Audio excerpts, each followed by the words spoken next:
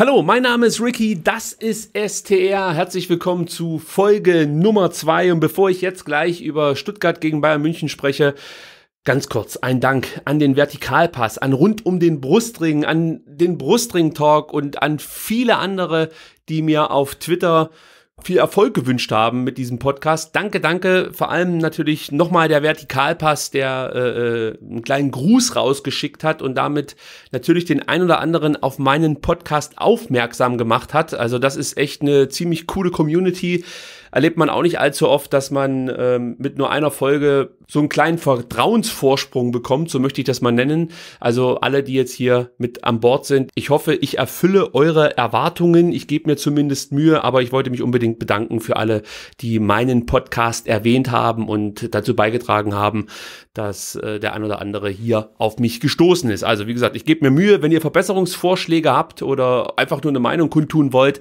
könnt ihr das natürlich tun auf Twitter. At VfBSTR ist der Twitter-Handle. Ich finde nicht auf Facebook statt, also da gibt es keine Seite von mir, wird es auch keine geben, weil ich keinen Facebook-Account habe. Also wenn ihr mit mir kommunizieren wollt, müsst ihr das leider Gottes über Twitter tun. Das ist die von mir präferierte Plattform. So. Hausmeistertätigkeiten sind bei mir noch relativ kurz. Deswegen kann ich direkt auf die wirklich tollen Dinge des Lebens zu sprechen kommen, nämlich auf Fußball. Stuttgart gewinnt in München 4 zu 1. Klingt komisch, ist aber so. Äh, das war schon eine beeindruckende Leistung des VfB Stuttgart. Und ich weiß, viele Bayern-Fans und vielleicht auch viele andere Fans von diversen Fußballvereinen werden jetzt versuchen, diesen Sieg klein zu reden und sagen, die Bayern waren nicht 100% fokussiert, haben nicht alles gegeben, waren mit den Gedanken schon beim Pokalfinale. Ich sag erstens mal, fuck you. Und zweitens ist mir das scheißegal, ob die fokussiert waren oder nicht. Es gab genügend Momente in dieser Saison, wo man in Bayern vielleicht so ein klein wenig die Geistesabwesenheit unterstellen konnte. Aber ich glaube, beim Saisonfinale kurz vor der Übergabe der Meisterschüssel und beim letzten Heimspiel von Jupp Heinkes kann man den Bayern mit Sicherheit nicht Motivationslosigkeit vorwerfen. Also ich glaube, wenn es einen Zeitpunkt gibt, wo alle Bayern-Spieler 100% den Erfolg wollen, dann beim letzten Heimspiel von Jupp Heinkes. Und ich habe auch nicht den Eindruck gehabt, dass die Bayern im Spiel irgendwie äh, ja, sich, sich nicht besonders angestrengt hätten. Ganz im Gegenteil, die haben schon richtig Dampf gemacht und haben versucht, den VfB unter Druck zu setzen. Aber es ist halt einfach nicht so leicht, diese Mannschaft ja in die Knie zu zwingen. Natürlich kann es dir passieren, dass du dir gegen die Bayern so ein Tor fängst wie beim 1 zu 1, aber die eigentlich wirklich herausragende Leistung hat der VfB aus meiner Sicht mit seinem Umschaltspiel gezeigt. Jede Chance, die sich gegeben hat, haben sie im Endeffekt genutzt. Ginczek hat noch eine ausgelassen, kurz vor dem 1 zu 1, meine ich. Aber ansonsten war das schon beeindruckend, was Stuttgart aus wenigen Chancen so macht. Und es sind ja einige Jungs ausgefallen. Santiago Ascasiba ist mir jetzt nicht sonderlich aufgefallen, dass er nicht gespielt hat. Das soll nicht bedeuten, dass Santi nicht ein wichtiger Bestandteil der Mannschaft wäre. Nein, das soll vielmehr bedeuten, dass die zweite Reihe solche Ausfälle kompensieren kann. Ja, wenn ich da Aurel Mangala zum Beispiel nennen kann, das war nicht das erste Mal, dass der Junge reinkommt und eine solide Leistung zeigt. Also da können wir froh sein, dass wir solche Spieler in der Hinterhand haben. Auch in der Offensive musste umgestellt werden. Mario Gomez ist Vater geworden. Herzlichen Glückwunsch. Dementsprechend musste Taifun Korkut in der Offensive noch umstellen und hat Tassos Donis gebracht. Viel gefordert von vielen Fans. Auch ich bin eigentlich ein Fan von äh, Tassos Donis. Alles, was ich bislang von ihm gesehen habe, ist sehr vielversprechend. Er hat unheimlich viel Dynamik, er hat einfach die Power, die du brauchst, um wirklich solche großartigen Situationen zu kreieren, wie vor dem 1 zu 0. Ja, das ist halt einfach phänomenal, wenn du den Ball da an dem alten Rafinha vorbeilegst, mit Power an ihm vorbeiziehst und dann den Ball nach innen spielst und so ein Tor erzielst. Das ist Qualität, die hat er, gar keine Frage. Die spricht ihm auch, glaube ich, niemand ab. Wenn man Anastasios Donis irgendwas absprechen möchte, dann vielleicht, dass er sich nicht immer 100% in den Dienst der Mannschaft stellt. Man muss einschränkend sagen, wenn diese Gerüchte stimmen, die man so mitbekommt, ja, dass er einfach im Training dann angepisst ist, wenn er nicht spielt und nicht bis an die Leistungsgrenze geht. Wenn das alles so ist, ja, dann muss er da an seiner Mentalität arbeiten, an seiner Einstellung zu diesem Sport. Es ist halt ein Mannschaftssport und da gehört es dazu, dass du auch mal auf der Bank sitzt, auch wenn du es als ungerecht empfindest, es ist halt dann so. Und du musst dich unterordnen. Und du hast auch wenig Argumente gegen den Coach, wenn der halt jedes Spiel gewinnt oder zumindest nicht verliert. Dann ist es halt relativ schwer zu sagen, ja, der macht da was falsch. Ich muss spielen. Die Jungs, die das Vertrauen von Taifun Korkut genossen haben bislang, haben auch immer delivered. Und Tossas hat die Möglichkeit bekommen, einmal gegen Werder Bremen hat bewiesen, dass wir uns auf ihn verlassen können. Und ich glaube, das war auch der Grund, warum Taifun Korkut jetzt auf ihn zurückgegriffen hat und ihn von Anfang an gebracht hat. Also das war auch taktisch gar nicht so blöde, ihn äh, reinzuziehen und eben, ich sag jetzt, für Gentner spielen zu lassen. Gentner ist ja in die Zentrale gerutscht für Dennis Aogo. Oriel Mangala, von mir schon erwähnt, hat äh, Santiago Ascasiba ersetzt. Mit Tassos hast du halt einfach nochmal diesen Überraschungsmoment auf deiner Seite. Und das war schon ein cleverer Schachzug von Typhoon Korkut. So ein bisschen mache ich noch ein Fragezeichen hinter seiner Einstellung, ja, aber ich kann es letzten Endes ja nicht beurteilen, weil ich ihn nicht jeden Tag erlebe. Und ich glaube jetzt auch nicht jedem Journalisten, der irgendwas in der Zeitung schreibt, aber ähm, es scheint schon irgendwas dran zu sein. So möchte ich es mal sagen. Man hat das übrigens auch gesehen, als er das erste Tor vorbereitet hat und Daniel Ginczek freudestrahlend auf ihn zugerannt ist, ist er schon so ein bisschen, na, ein bisschen hat er sich zur Seite gedreht und da sah es schon danach aus, dass er jetzt da nicht in die Jubelarie mit einstimmen möchte. Und da habe ich mich auch schon gefragt, Mensch, Junge, freu dich doch mal, du hast gerade ein Tor gegen die Bayern vorgelegt.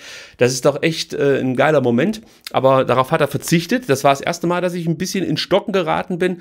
Und das zweite war natürlich dann, als er sein, sein Tor selber erzielt hat und auch wieder einfach nur so durchgelaufen ist, sich nicht großartig gefreut hat. Und das war ja immerhin das 2 zu 1 kurz vor der Halbzeit. Ganz, ganz wichtiges Tor, auch wieder phänomenal gemacht, wieder den Ball am Gegenspieler vorbeigelegt, mit Tempo auf Sven Ulreich zugerannt.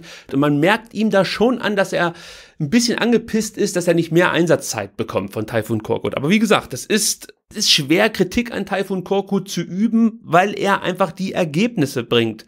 Und dann musst du dich unterordnen und musst halt einfach die Chancen nutzen, die dir geboten werden, wie zum Beispiel im Spiel gegen Bremen, als er reinkommt und ein Tor vorbereitet, auch sich eine tolle Chance erarbeitet hat. Das ist die Möglichkeit, um dich in die Mannschaft zu spielen. Und ich bin mir sicher, dass wenn er solche Leistungen weiter abruft, kein Weg an Tassos Donis vorbeiführt. Das, da, da bin ich mir hundertprozentig sicher.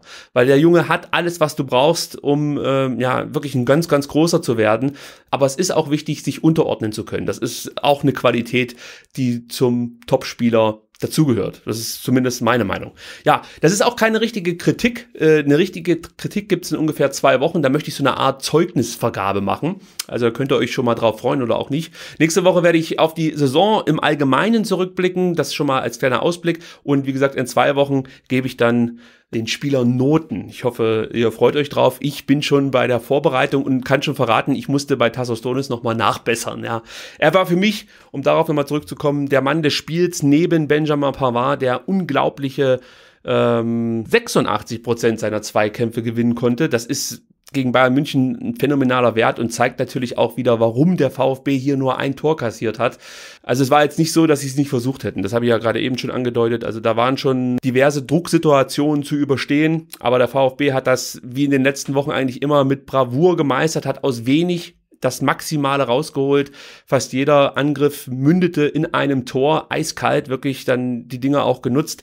Natürlich spielte uns so ein bisschen in die Karten, dass ein Rames einen rabenschwarzen Tag erwischt hat. Der hat nicht mal 30 Prozent seiner Zweikämpfe gewonnen. Auch Mats Hummels, ja, als absoluter Top-Innenverteidiger, hat einen katastrophalen Zweikampfwert gehabt. Ich glaube, unter 50 Prozent. Also, das spielt schon alles irgendwie uns in die Karten, aber es ist jetzt auch nicht so, dass es äh, äh zu solchen Werten kommt, wenn du als Gegner nicht eine gewisse Qualität mitbringst. Deswegen, wir können stolz sein auf diesen Sieg. Das war äh, kein geschenkter Sieg, gar nichts. Nein, das war einfach gut gemacht, so wie in den letzten Wochen auch. Und plötzlich haben wir die Chance, nächstes Jahr in der Euroleague zu spielen. Ich weiß, da grault es vielen. Ich habe auch nicht so ein richtig geiles Gefühl bei dem Gedanken Euroleague, gebe ich ganz ehrlich zu. Zum einen liegt es daran, dass du natürlich eine Menge Krampen erstmal besiegen musst, um überhaupt dann an lukrative Gegner zu kommen. Hoffenheim musste dieses Schicksal über sich ergehen lassen. Natürlich Köln hat diese Euroleague-Teilnahme mit einem bitteren Abstieg bezahlt. Das wird in Stuttgart auch schon so ein bisschen an die Wand gemalt. Mensch, Platz 7 qualifiziert dich als Absteiger für die nächste Saison. Also so krass sehe ich es dann auch nicht. Im Großen und Ganzen ist Platz 7 für den VfB Stuttgart eine phänomenale Leistung. Punkt. Und wenn mit dieser Leistung einhergeht, dass du in der nächsten Saison dich für die Euroleague qualifizieren kannst, ist das erstmal was Gutes. Aber ich würde natürlich jetzt auch nicht unbedingt in der Vorbereitung schon versuchen, mich wirklich unbedingt für diese blöde Euroleague zu qualifizieren, sondern der Fokus wäre erster Bundesligaspieltag und diese Euroleague-Qualifikationsspiele würde ich einfach als äh, Testspiele sehen, ja, und da ein bisschen Dinge ausprobieren. Und wenn es nicht klappt, scheiß drauf. Keiner in Stuttgart wird traurig sein, wenn wir nächstes Jahr dann doch nicht Euroleague spielen. Und was die anderen Bundesligisten sich dabei denken, ist mir auch scheißegal. Hier geht's um uns und sonst um niemanden. Und äh, wie gesagt, ich würde das so ein bisschen als Testspiel dann mitnehmen und gucken, was am Ende dabei rauskommt. Und wenn es dann wirklich so ist, dass wir Donnerstag 21.05 Uhr uns treffen und internationalen Fußball in Stuttgart sehen können, es gibt Schlimmeres, sage ich mal. Ja? Also es hätte auch Montag in Aue heißen können für den VfB. Mich macht's stolz und glücklich. Ja, man ist sich, glaube ich, aber auch in der Führungsetage über die Gefahren einer solchen Euroleague-Teilnahme bewusst und man hört dann immer wieder, man muss den Kader breiter machen. Ja, bedingt. Ja, die Bayern spielen auch nicht mit einem riesigen Kader in der Champions League und haben viele Spiele, Nationalspieler und was weiß ich alles.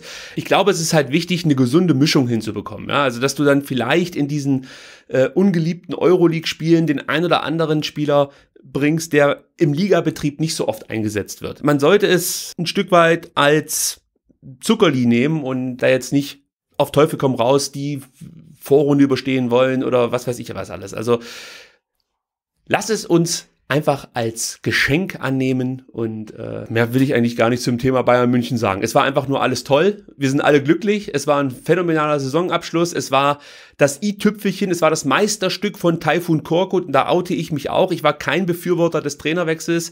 Äh, bei mir hatte das weniger mit der Personalie Taifun Korkut zu tun, sondern mehr mit dem verlassenen Weg, der uns eigentlich prophezeit wurde ja, ungefähr vor einem Jahr, als man gesagt hat, mit Schindelmeiser und Wolf verfolgt man ein gewisses Konzept, das vor allem sich auf junge Spieler fokussiert. Diesen Weg hat man verlassen. Zum einen natürlich dann mit Michael Reschke, der geholt wurde, und zum anderen, als man dann Hannes Wolf wirklich beim geringsten Widerstand von der Leine ließ, so möchte ich es mal ausdrücken.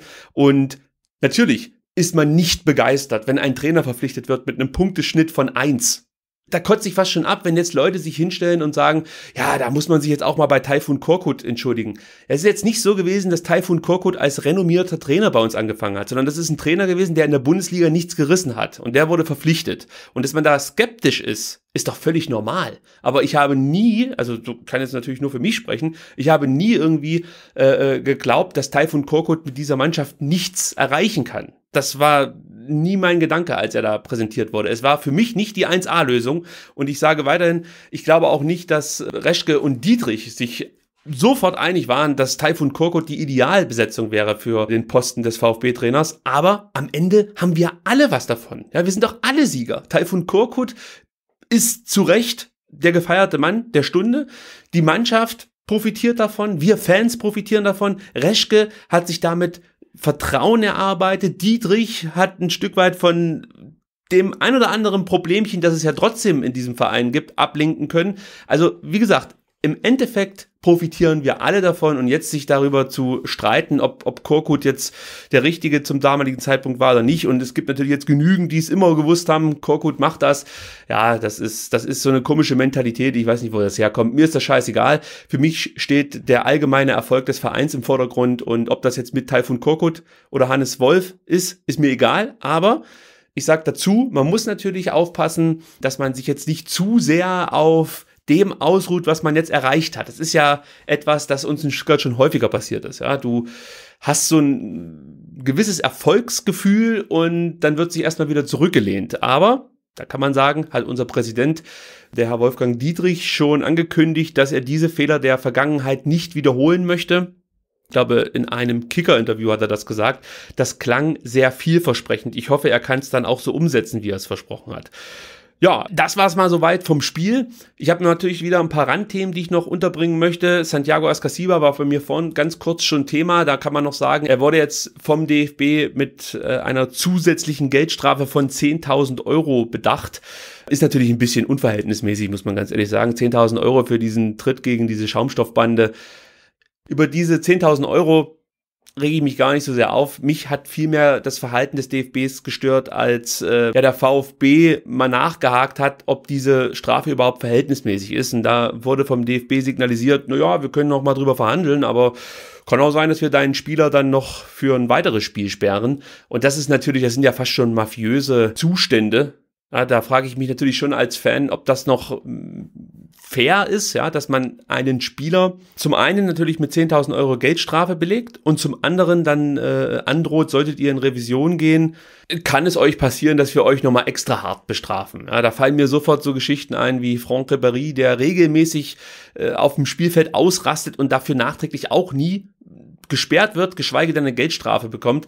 Und ich frage mich da wirklich, wenn es da um die Vorbildfunktion eines Spielers geht, ob ins Gesicht schlagen nicht der, der krassere Verstoß ist im Vergleich zu dem, was Santiago Ascasiba gemacht hat. Also da muss man schon ein bisschen auf dem Teppich bleiben, aber wir kennen den DFB so, da wird immer wieder mit zweierlei Maß gemessen und äh, dann sitzen sie wieder bei Vontora oder sonst irgendwo irgendwelche Vertreter und können sich überhaupt nicht erklären, warum die Fans so einen Hals auf die Affen haben. Ich muss es leider so drastisch ausdrücken, so ist es. Also insgesamt ist das natürlich dann noch verkraftbar mit diesen 10.000 Euro. Nehmen wir einfach so hin. Es trifft ja jetzt auch nicht die allerärmsten Konsorten. Also da wird sich schon ein Weg finden, wie Santi Ascasiba diese 10.000 Euro zusammenbekommt. Vielleicht hilft der Verein noch ein bisschen mit. Ähm, da mache ich mir also keine Sorgen um die finanzielle Existenz des Argentiniers. Ja, der sich übrigens mit besonderem Trainingsfleiß äh, ausgezeichnet hat. Äh, und zwar hat er mit Eric Tommy zusammen am trainingsfreien Dienstag erstmal noch eine extra Runde gedreht. Also das finde ich schon ziemlich fett. Ja? Also dass Eric Tommy sagt, ja komm, ich will besonders fit ins Bayern-Spiel gehen und äh, trainiere hier am trainingsfreien Tag. Okay, aber für Santi ist ja eigentlich die Saison beendet, außer er schafft es noch in die argentinische Nationalmannschaft und dann zur WM. Aber dass er da sich am Dienstag noch den Platz stellt und eine extra Schicht schiebt, ziemlich geil. Äh, also Hut ab vor den beiden Jungs. Ja, Dauerkartenvorverkauf läuft ich habe meine Dauerkarte, wie letzte Woche schon angekündigt, bislang noch nicht verlängert, habe immer noch keine endgültige Entscheidung getroffen, ob ich das machen werde oder nicht. Wie gesagt, ich äh, war nicht ganz zufrieden mit meinem Platz. Ich will ein bisschen zentraler in der Kantschaler Kurve sitzen, saß jetzt sehr weit links, das hat mir nicht so gut gefallen. Mal gucken, wie ich mich entscheide, aber es juckt schon in den Fingern, ja. Also man möchte einfach dabei sein, wenn es dann im August wieder losgeht und ähm, ja, mal gucken, wie ich mich entscheide. Ich habe ja noch ein bisschen Zeit. Im Zuge übrigens dieser äh, Dauerkartenverlängerungsaktion wurde geleakt, dass es vom VfB Stuttgart ein Panini-Sonderalbum geben wird. Anlässlich des 125-jährigen Bestehens des Vereins wird es also ein Sonderalbum geben. Ich bin ein großer Panini-Fan, aber ich weiß, dass viele Leute diese Klebebildchen regelmäßig zu Europameisterschaften und Weltmeisterschaften sammeln. Die dürften sich darüber freuen. Es gibt natürlich äh, diese künstliche Verknappung und der VfB treibt es auch noch auf die Spitze. Es gibt zwei Bildchen, die bekommt man nur, wenn man Mitglied oder Dauerkartenbesitzer ist. Manche gibt es nur auf der Geschäftsstelle oder direkt am Stadion. Also man versucht da auf Teufel komm raus einen riesen Poei, um diesen, um diese Bildchen zu machen. Man kann natürlich auch sagen, mein Gott, bring diese Bildchen einfach ganz normal in den Verkauf und gut ist bin da kein Fan, wenn man versucht, die eigenen Fans mehr oder weniger noch mit solchen Aktionen zu bestrafen, wie du musst jetzt hier eine Dauerkarte haben oder Mitglied sein, um das und das Bildchen zu bekommen, weiß ich nicht. Also das muss eigentlich nicht unbedingt sein. Aber im Prinzip für alle, die Bock auf diese Panini-Alben haben, ist das wahrscheinlich eine tolle Sache. Bislang wurden bereits 7000 Dauerkarten verlängert. Das kann man vielleicht auch noch mal kurz mit anbringen hier in meinem kleinen Podcast. Über 10.000 der neuen Trikots wurden bereits verkauft. Hat alles Wolfgang Dietrich freudestrahlend in diesem wie gesagt, ich bin mir nicht mehr ganz sicher, aber ich glaube, Kicker-Interview war es, gesagt. Der Zuschauerschnitt wurde mit 56.200 angegeben. Das ist neuer Rekord für den VfB Stuttgart. Mitgliederzahl liegt bei 62.000.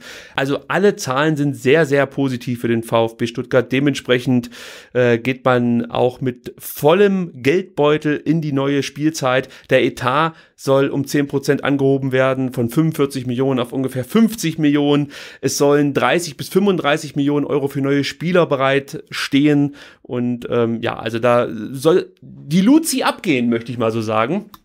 Und ich bin gespannt, wer dann ab der neuen Saison alles das VfB-Trikot tragen darf. Einer, der das Trikot des VfB Stuttgart schon eine ganze Weile getragen hat, nämlich Emiliano Insua, wird sehr wahrscheinlich auch in der kommenden Saison wieder Spieler des VfB Stuttgart sein. Es sieht danach aus, dass Insua das VfB-Angebot annimmt und äh, für eine weitere Spielzeit hier beim VfB bleibt. Wahrscheinlich auch noch darüber hinaus. Ich, ich kenne natürlich jetzt keine Vertragsdetails. Ich weiß nicht, über welchen Zeitraum der Vertrag mit ihm geschlossen wird, aber es sieht dann danach aus, dass Anfang nächster Woche ein Verbleib des Argentiniers bekannt gegeben wird. Das ist schon mal nicht schlecht. Bonasosa, die Personalie, scheint auch durch zu sein. Ich bin weiter skeptisch, ob man für acht Millionen da wirklich diese Qualität bekommt, die der Preis unterstellt. Aber ähm, ja, alles, was man so hört, ist, dass Borna Sosa nächste Saison für den VfB spielen wird. Man wartet noch, bis in Kroatien die Saison durch ist und Dynamo Zagreb den Titel gewonnen hat. Und dann möchte man wohl diese Personalie bekannt geben. Gleiches gilt für Marc-Oliver Kempf, der von Freiburg nach Stuttgart kommen wird. All diese Personalentscheidungen dürften dann wohl nächste Woche bekannt gegeben werden. Oh, ich habe noch was vergessen. Ich habe noch was ganz Wichtiges zum Bayern-Spiel vergessen. Kleiner Nachtrag. Es ist historisches Geschehen, denn Benjamin Pavard hat als erster Spieler des VfB Stuttgart seit Krasimir Balakov in der Saison 95-96 alle 34 Bundesligaspiele über 90 Minuten absolviert. Also auch da muss man nochmal dem Franzosen gratulieren. Ja, Benjamin Pavard ist für mich, wie gesagt, neben Santiago Ascasiba der Spieler der Saison. Das werde ich dann auch nochmal in meiner Zeugnisvergabe genauer erklären. Und die Chancen, dass er für Frankreich ähm, bei der WM mit am Start ist. Die steigen natürlich. Koscielny hat sich verletzt. Also es würde mich sehr wundern, wenn Didier Deschamps auf Pavard verzichtet. Bin gespannt, ähm, wie das mit ihm weitergeht. Ich hoffe, wir sehen ihn auch in der neuen Saison noch im Stuttgart-Trikot. So, dann bleibe ich ganz kurz bei finanziellen Sachen, denn es hat sich noch was Tolles ereignet. Die Stuttgarter Spieler haben nämlich 200.000 Euro ihrer Punktprämie den 200 Mitarbeitern des VfB Stuttgart überlassen. Die Jungs haben eine Punktprämie bekommen und ein Teil dieser Punktprämie, eben 200.000 Euro, werden unter 200 VfB-Mitarbeitern aufgeteilt. Das äh, finde ich ist schon eine tolle Geste, wenn man sich überlegt, dass vor zwei Jahren noch einige Mitarbeiter ja, ihren Job verloren haben aufgrund des Abstiegs, ist das vielleicht auch nochmal ein kleines Dankeschön für alle, die jetzt in den letzten Jahren wahrscheinlich umso härter gearbeitet haben, weil man kann sich vorstellen, die Arbeit ist nicht weniger geworden, nur weil der VfB abgestiegen ist, aber man hatte halt finanziell nicht mehr die Möglichkeiten, alle mit durchzufüttern. Deswegen wurden einige Leute entlassen und ähm, das ist jetzt hier vielleicht nochmal das kleine Dankeschön an die Mitarbeiter, die ganz, ganz viel hinter den Kulissen zu tun hatten in den letzten Jahren und das auch sehr, sehr gut gemacht haben, muss man definitiv so sagen. Also tolle Geste von den Spielern in Richtung Mitarbeiterstab des VfB Stuttgart. So, jetzt bleibe ich nochmal ganz kurz bei Transfergerüchten. Da gab es ja in den letzten sieben Tagen wieder reichlich Namen, die durchs Dorf getrieben wurden. Aber eine Personalie finde ich sehr interessant und zwar Roberto Massimo, der 17-jährige Spieler von Arminia Bielefeld, der wohl nach Stuttgart wechseln soll diesen Sommer für zwei bis drei Millionen Euro. Ist eine Menge Kohle für einen 17-Jährigen. Hoffenheim buhlt auch um Massimo. Das wird interessant zu sehen sein, wer da den Zuschlag bekommt, Stuttgart oder Hoffenheim. Es heißt, dass Hoffenheim ein klein wenig die Nase vorn haben soll. Äh, ich bin gespannt, wie das ausgeht. Äh, Massimos Vertrag läuft noch bis 2019. Aktuell ist angedacht, dass man äh, ihn dann verpflichtet. Ja, also Stuttgart holt ihn zum Beispiel für drei Millionen und verleiht ihn dann erstmal für ein Jahr wieder nach Bielefeld. Und dann kommt er eben nach Stuttgart oder weiß ich nicht, ob dann nochmal eine Anschlusssaison irgendwo äh, bei einem anderen Verein äh, angestrebt wird, dass man ihn dann nochmal verleiht. Er braucht natürlich Spielpraxis, bringt ganz, ganz viel mit. Das sieht man auch immer wieder, wenn er für Bielefeld spielt. Er hat bislang, glaube ich, sechs Spiele in der zweiten Bundesliga bestritten und das sah alles sehr, sehr ordentlich aus. Also da, man erkennt schon, dass das ein sehr interessanter Spieler ist. Und auch da muss ich nochmal kurz was äh, zur Transferpolitik des VfB Stuttgart sagen. Ich finde das bislang wirklich sehr clever, wie sich der VfB auf dem Transfermarkt verhält. Man verhandelt nämlich wirklich mit Spielern, die auch ins Beuteschema eines ja, gerade aufgestiegenen Vereins passen. Ja, da gab es andere Jahre, da hat man sich dann versucht, äh, irgendwelche großen Namen an Land zu ziehen und musste dann lange darauf warten, bis die dann zugestimmt haben. Ich erinnere da an Jondal Thomasson, der immer noch damit geliebäugelt hat, zu einem anderen Verein zu gehen und dann gab es doch kein Angebot, dann ist er halt zum VfB gegangen und hat da auch keine Leistung gebracht. Man hat viel Geld für ihn bezahlt und äh, ich finde gerade solche Transfers, die vielleicht auch ein bisschen risikobehaftet sind, wie zum Beispiel der Kämpf von Freiburg, ja, der ohne seine Verletzungshistorie mit Sicherheit bei noch besseren Vereinen hätte unterkommen können. Da greift der VfB an, geht dieses Risiko, bemüht sich um diesen Spieler. Ähnliches macht man jetzt bei Massimo, der mit 17 natürlich eine Investition ist, die auch nach hinten losgehen kann. Aber in, in drei Jahren wirst du diesen Spieler unter Umständen gar nicht mehr bezahlen können. Von daher finde ich das gut, dass man das versucht und dass man hier vielleicht auch so ein bisschen aus Fehlern der Vergangenheit gelernt hat. Auch die Personalie Borna Sosa mit 8 Millionen. Es ist eine Menge Kohle, aber auch hier muss man vielleicht das Risiko gehen, um dann hintenrum durch hohe Weiterverkaufssummen dann eben diese Investition wieder reinzuholen. Benjamin Pavard ist da für mich das Paradebeispiel. Den holst du für 5 Millionen. Wenn du den jetzt verkaufst, kriegst du 30 bis 50, je nachdem, welcher Verrückte ihn haben möchte. Aber so funktioniert's halt. Und trotzdem hast du dann drei, vier Spieler wahrscheinlich dabei, die du auch für vier, fünf Millionen verpflichtet hast und die dann nicht die gewünschte Entwicklung genommen haben. Aber genau das ist der Weg, den man, glaube ich, in Stuttgart gehen muss. Ja. Man spricht ja bei Michael Reschke immer wieder vom Perlentaucher und seine Ausbeute ist bislang wirklich beeindruckend. Man muss es so sagen. Ja. Also Erik Tommy, Santiago Ascasiba sind schon zwei Spieler, die äh, dem VfB definitiv mehr Geld einbringen werden, als sie gekostet haben. Vorausgesetzt, man muss sie überhaupt mal irgendwann abgeben. Man weiß ja nicht, wie diese Entwicklung noch weitergeht hier in Stuttgart. Ja, nein, ich möchte natürlich nicht anfangen zu spinnen. Aber ich finde die bislang sich andeutende Transferpolitik doch ganz ordentlich. Ja, wie gesagt, es gibt einige Namen, die jetzt momentan wieder durchs Dorf getrieben werden. Ich werde da jetzt äh, nicht genau auf die einzelnen Spieler eingehen. Äh, das werde ich dann erst tun, wenn es konkreter wird. Wie gesagt, Massimo ist jemand, da könnte es relativ äh, zackig soweit sein, dass man hier einen Transfer vermelden kann. Deswegen habe ich den mit reingeholt und den finde ich auch als Personalie sehr, sehr interessant. Übrigens, äh, weil ich es gerade angedeutet habe, dass auch Santiago Ascasiba uns natürlich eine sehr, sehr hohe Ablöse jetzt bringen würde, sollte er den Verein verlassen. Da wurde auch von Michael Reschke klipp und klar gesagt, nein, der Spieler wird nicht verkauft, der bleibt noch mindestens ein Jahr in Stuttgart. Der SSC Neapel hat ja da gestiegenes Interesse an der Personalie Ascasiba gehabt gehabt. Aber auch da wird einfach die Tür zugeschlagen. Finde ich gut.